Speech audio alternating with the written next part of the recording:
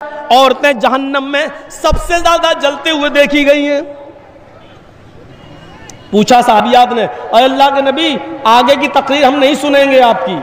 बस करिए, हमें सिर्फ़ इतना बता दीजिए कि औरतें सबसे ज़्यादा जहन्नम में क्यों गई, क्यों जाएँगी, ताकि हम, वो अमल अगर हमारी ज़िंदगी में हो तो हम छोड़ दें। फरमाया तकसुरनल लान व तकफुरनल तुकसिरनल लान व तकफुरनल आशीर तुम लानो तान ज़्यादा करती हो। तुकसिरनल लान, तुम लानो तान ज़्यादा करती हो। एक दूसरे की बुराइयाँ करती हो, एक दूसरे पर लानत भेजती हो और अपने शोहर, अपने हस्बैंड की नाफरमानी करती हो। याद रखना मेरे भाइयों, अल्लाह के नबी सल्लल्लाहु अलैहि वसल्लम ने फरमाया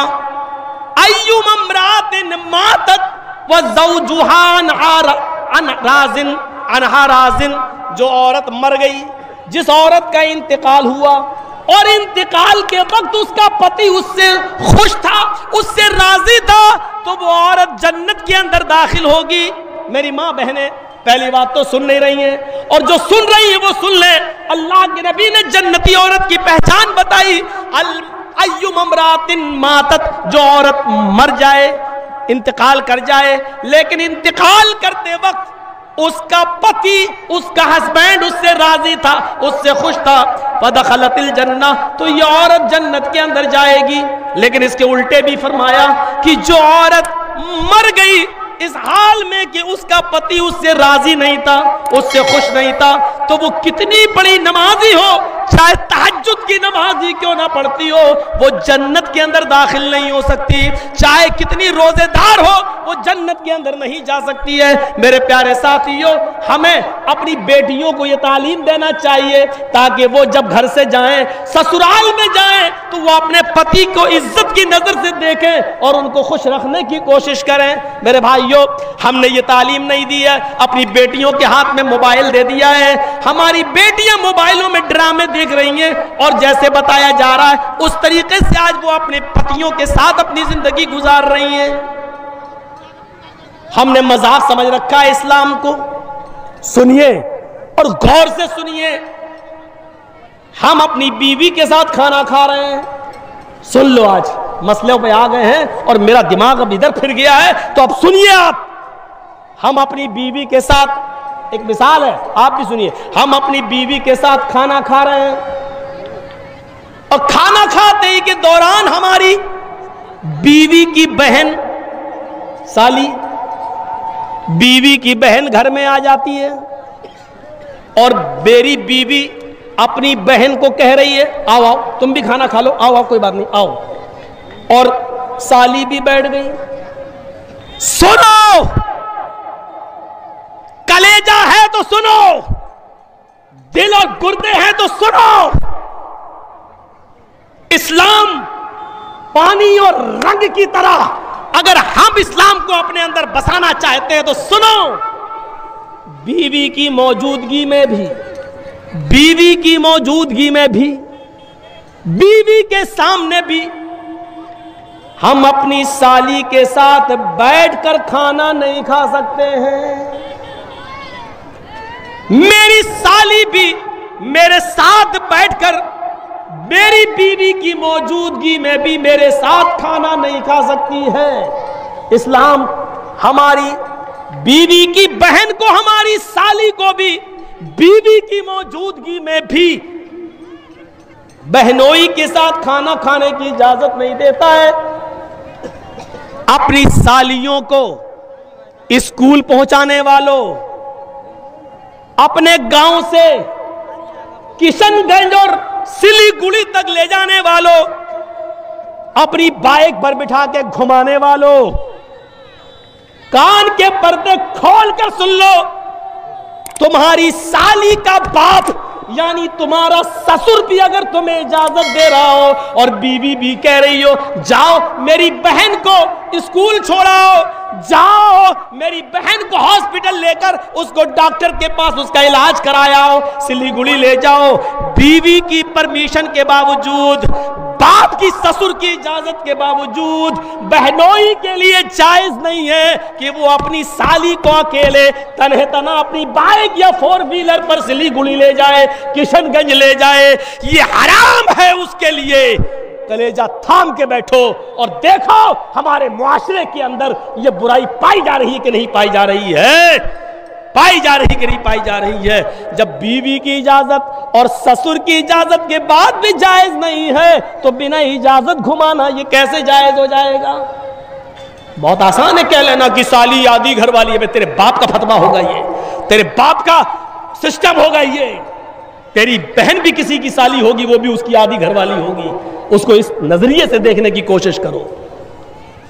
इस्लाम के अंदर साली को भी बहनोई से पर्दा करना पड़ेगा। इसलिए कि बीवी के इंतकाल के बाद या बीवी की तलाक के बाद साली के साथ निकाह जायज़ हो जाता है और जिसके साथ निकाह जायज़ हो, उससे पर्दा ज़रूरी है। जहाँ यह मसला साली के साथ है, वहीं यह मसला भाभी के ऊपर भी लागू होता है।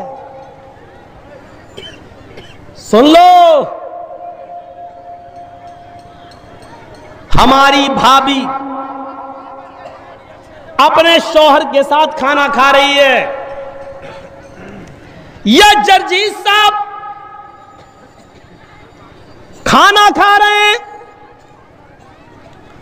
और जर्जीत साहब के भाई की बीवी, यानी भाभी, हमारे रूम में आ जाती है और हमारा भाई भी वहीं बैठकर मेरे साथ खाना खा रहा है। और भाई ने कह दिया, अपनी बीवी से आओ। आओ तुम भी खाना खा लो, कोई बात नहीं, देवर है तुम्हारे, बैठो। भाई की परमिशन के बावजूद, शौहर की इजाज़त के बावजूद, भाभी के लिए देवर के साथ खाना खाना जायज़ नहीं है।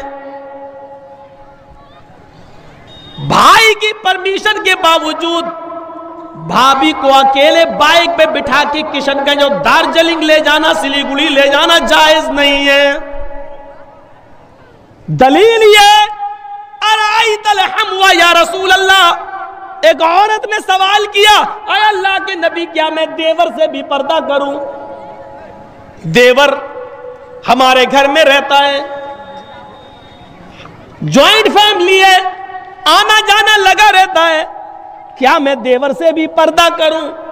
तो अल्लाह के नबी ने फरमाया हाँ मोहल्ले के दूसरे लोगों से कभी कभी बेपर्दगी हो जाए, चलेगा। मोहल्ले के दूसरे लोगों के सामने कभी चेहरा खुल जाए, चलेगा। अलहमुल मौत।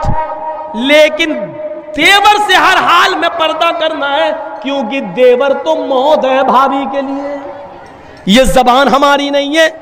हमारी जबान ज़रूर है, लेकिन अल्फाज मोहम्मद रसूलुल्लाह के हदीस जनाब मोहम्मद रसूलुल्लाह सल्लल्लाहु अलैहि वसल्लम की है, अलहमुल मौत, देवर भाभी के लिए मौत है।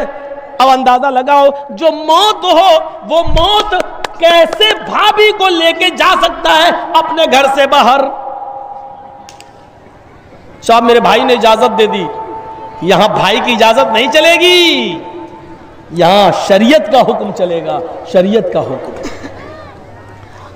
हम इन चीज़ों पर गौर करें, सोचें, क्या इस्लाम के साथ हमारा ताल्लुक यह है?